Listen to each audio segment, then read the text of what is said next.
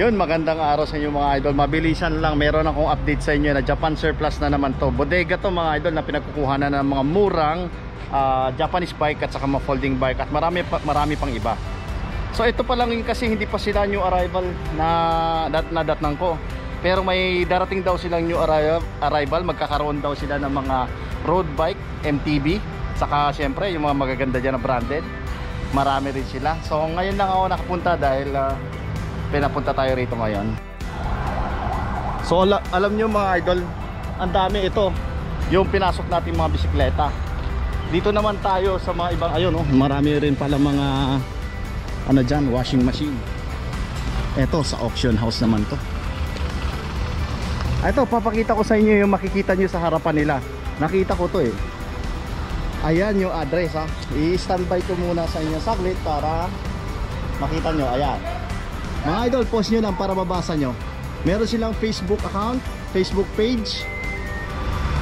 Waste, Recycle Park, Japan. Okay, let's go. Eto, dito ko na-excite mga idol sa isa sa pinakamalaking bodega na pinuntahan natin. Grabe pala rito, oh. Sa ma'am auction dito, no? Wow. Wow, wow, wow, wow, grabe. Mga helmet, oh. Ayan, oh. So nasa auction tayo mga idol ah. Nasa auction lang tayo. So pinapakita. Sobrang laki. Inaayos pa. Grabe dito.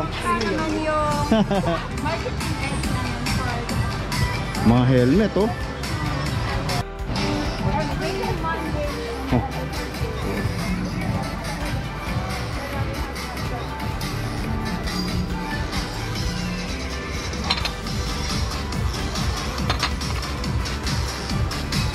Grabe. Ang dami dito mga corningware, mga plates kasama lahat 'yan. Alright. Stuffed toys, napakarami stuffed toys dito. Ayan, makikita nyo, mabilisan lang. Siyempre, hello, mga busy-busy kayo ah. Ayan, eh bag oh, mga magagandang bag. Ang lahat, mga sapatos. Ito talaga, literal na bodega ng Japan surplus. Kararating lang nito. So marami kang pagpipilian dito. Pati mga helmet, ang dami ko nakita mga helmet oh. Ito pa, may nagtanong sa akin ng mga to ah. Pero walang presyo mga idol, auction pa lang. At least dinala ko kayo kung saan may mga ano auction house nila. Parami yan. Ayan po mga idol, ang daming mga gitara dito. Ito yung sa mga naghahanap po. Electric guitar. So auction to mga idol. Nagla-live kayo rito no? Huh? Anong araw? Tuesday, Thursday. Oh, wow. Facebook. Pero private. Pero ah, okay lang. Ah, i- isa nyo lang sa akin yung link Okay. para ayan na rin nila. So mga idol, wala akong may bibigay sa inyo mga presyo kasi wholesale lang dito. Kagaya nung pinupuntahan ko sa Japan Surplus Bigayan. So sa mga naghanap ng mga piano, ayan, good condition daw yung mga yan, ina naayos na. Pati sa mga gitara, ito napakarami. Grabe itong napuntahan kong bodega ngayon ah. Nakakalula sa sobrang dami. Ito rin mga piano, oh, mga instrument. Siyempre kasama na rin to sa mga ano natin, sa specialties pagdating sa ano, sa vlog. Siyempre nasa surplus na tayo, isahan na rin po. One stop shop. Grabe, ang daming keyboard. Tapos ito, marami din ditong mga ano tawag dito. Sa, mga gitara to ginagamit eh. Pero yung mga Fernandez, mga brand, mga ganun. Yan, tulad niya Fernandez. All working daw. Pero karamihan sa nakikita ko rito, mga idol, ayan, mga electric guitar, lead guitar, bass guitar, halo-halo. So sa mga brand, hindi ko masyado pero comment down below baka mayroon sila rito. Tulad dito mga ano, uh, gitara ng mga na dito, yung brand, ayan, pakapyawan ko mabilisan. Tingnan nyo na lang, anyway, photogenic. Ayan, Baskers, ayan. So, Aria Pro. Ayan. Pwede nyo naman i-post para makita nyo yung mismong brand niya. Ayan. So ito naman yung mga acoustic guitars. Meron din dito. Ayan, Gibson. Oh, Gibson ba yun? Oh, ano ba? Yamaha, meron din. Ayan, Yamaha. Alright, so yun lang ano sa mga music instrument nila. Marami rin, kaliwat kanan. Lahat na ano, may nakaano eh. So, sobrang dami. Yun lang. Ah, dito tayo sa music instrument nila. Available din sa kanila. Comment down below sa mga interested na wholesaler ko. Napakamura pala ng mga ano daw nila dito. Bentahan. Magkano starting price nyo pag halimbawa sa mga wholesale? Sa isang piraso? Ah, sa isang peraso po, retail namin sa gitara, nagre-range siya ng sa as is 2.5. 2.5 as is. Ah, pa, oh, as is na yun ano? As is meaning Oo. mga kulang-kulang na lang. Oo. May mga konting hindi. 2.5 lang ha. Apo, Uy, sa electric 2.5. guitar. Electric guitar. ac- Sa acoustic, ah 1.5 pataas. 1.5 pataas. Sa Okay. classical, ganun din. 1.5 Oh. pataas. Ito, ano ba't pare-pareho to? Maison, Maison ba? Ah, Ito naman, ah good na siya eh. Ah, good na to lahat. Ah, ang presyo natin sa electric, 4,000 up. 4,000 na. Pwede ba retail dito nga pala? Ah, Pwede ba? Ah, Retail. pwedeng retail. Ah, So 4K and up ang starting dun sa retail. Okay. So yun maliwanag mga idol, pwede pa lang mag-wholesale dito. Ay, wholesale at saka retail dito. Pag sa retail 4K and up, pag ayos na. Pero kung hindi pa ayos is 2.5. So bahala na kayo magpagawa. Ayan si Fernandez oh. Ah, 3 pointer yan mga idol. Ayan nandito na rin. sa PBA. Saka yun maganda oh mga Maison no. Epiphone. Ayan. Gaganda ng mga gitara oh. So yun. At least sinama ko na rin sa mga highlights natin. Maraming nagre-request din sa kasi sa akin ito para at least alam din nila na meron ding mga bilihan pala ng mga Eto, hindi ko na patatagalin mga idol. Sobrang dami. Ayan oh, tumit pag tumingala ka, wow, grabe. Pag tingin mo dito sa area na to, so sangkatutak na bisikleta. Ito mga idol ah, good news. Masasabi ko lang dito kasi 1,700 lang po ang bentahan nila ng folding bike at saka Japanese bike. So ayun, isa na to sa pinakamura magbenta na napuntahan ko dito sa buong Pilipinas sa pagbablog ko ah. 1,700 isang pirasong bisikleta. Pero mga idol, sinasabi ko sa inyo as is. Ayan. Tulad yan ng mga nakatambak dito na sobrang dami. Folding bike yan, mga lodi oh. Gabundok, grabe. Gabundok na bisikleta. Ayan po, ang presyo niyan mga idol. Ah, parehas sila ng Japanese bike, 1,700. So, yun.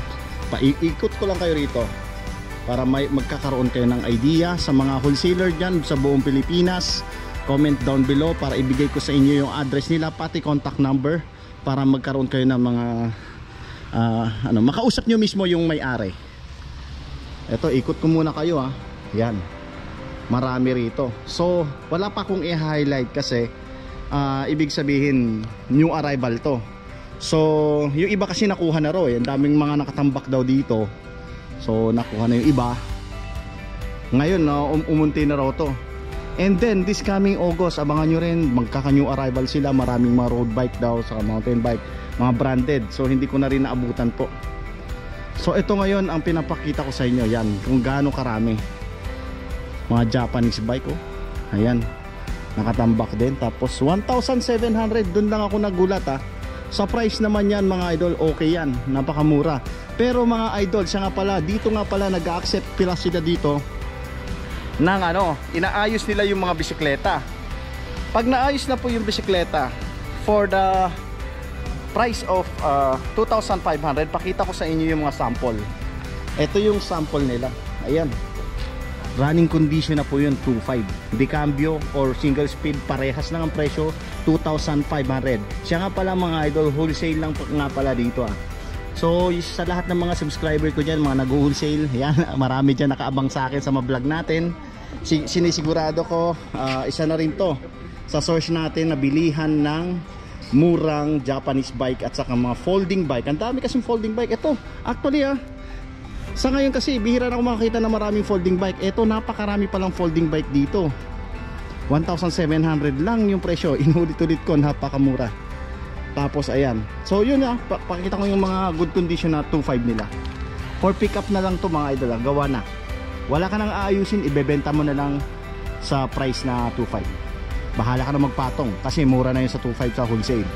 And tumubo ka lang dyan kasi bentahan nito sa labas. Ah 3.5, 3.8 mga ganun. Folding bike na yan. Halo-halo nga pala to. May alloy na at meron din steel. Syempre So yun lang muna po update ko dito sa bago natin pinuntahan. Um, ma'am, anong pangalan pala dito? AYKH Trading mga idol. And then anong address to? Address, Stanford Compound. Sanford Compound. Kilometer 22. Kilometer 22 East Service Road, Kupang.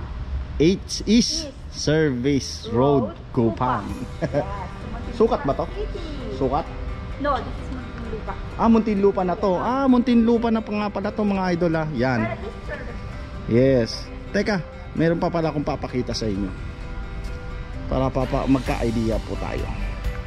Kasi meron daw mga ano dito road bike na naubos dito nakalagay yun eh. Napicturan yun. Road bike at sa mga ano. Eh nung pagdating ko sold out na agad. Saka MTB daw. Ayan, ayan yung mga 2.5. Ayan, nakatayo. So, pipick upin na lang po yan mga idol. Itong matindi dyan.